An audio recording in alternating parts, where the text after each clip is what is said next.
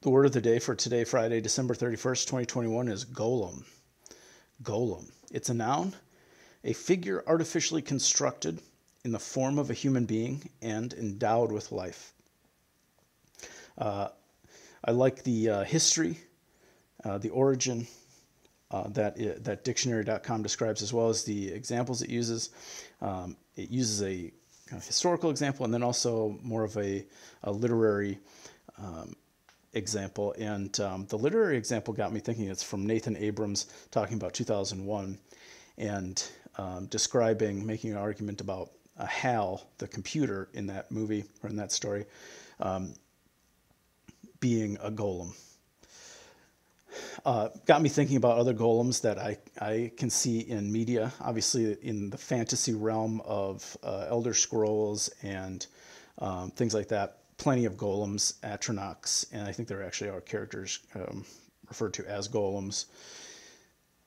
Uh, but then uh, more popular culture or popular media in terms of um, uh, uh, narratives like like um, movies like uh, Nathan Abrams was talking about.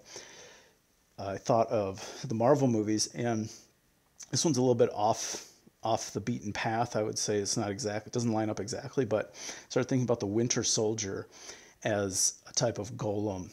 Um, he was psychologically created, and then uh, so right, the raw material is already a genuine article, a human, but artificially transformed into this being which only has life uh, when his um, handlers choose for him to have life. Otherwise, he goes into the uh, a state of suspended animation, and in a way, right, he becomes inanimate, like an inanimate object, until he is awakened, engaged, and given a mission.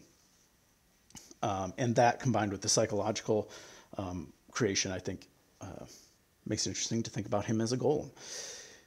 Also thought of from the uh, DC universe, there's a character called Bizarro, Bizarro Superman. You may know, maybe more well known as, um, who has uh, who is created by Lex Luthor from the genes of Lex Luthor and uh, Superman. And this character in, in some of the, the storylines uh, goes through the experience of um, self discovery, self creation, um, that I think is interesting when you um, kind of cast him into this, uh, very easily cast him into this Frankenstein mold, uh, which apparently is connected, uh, as you will find on dictionary.com, to um, the Frankenstein story is directly connected to this concept of a golem, um, which dictionary.com talks about. Um, so, another interesting character uh, to consider uh, as a golem, uh, or to see through the lens of golem and interpret.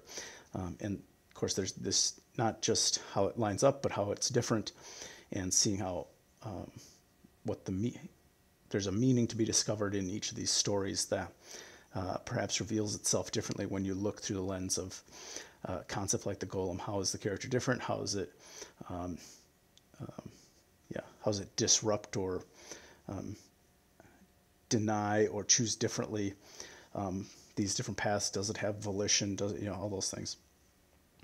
Um, and how does it determine its own purpose? Um, how does it see itself? What does it allow to define itself? Those types of things.